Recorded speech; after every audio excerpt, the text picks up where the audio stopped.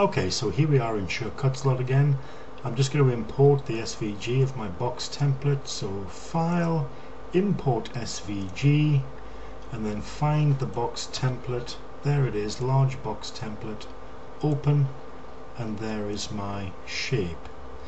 Now if you want to cut two pieces of the template from the same piece of cardstock, you must remember to flip it.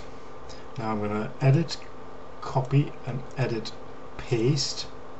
And if I move this you can see the other one is underneath it there. So here are my two pieces I'm going to cut to make up one box. But because the the cardstock is double-sided I need to flip one of them so it all works well. So uh, I'll leave that one selected now and just click on flip shapes and there is my shape flipped.